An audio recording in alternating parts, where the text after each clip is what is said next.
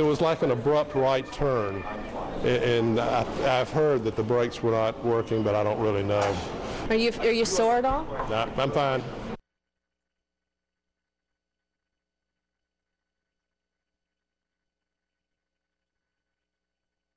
There is no speculation on what happened by anybody on anything.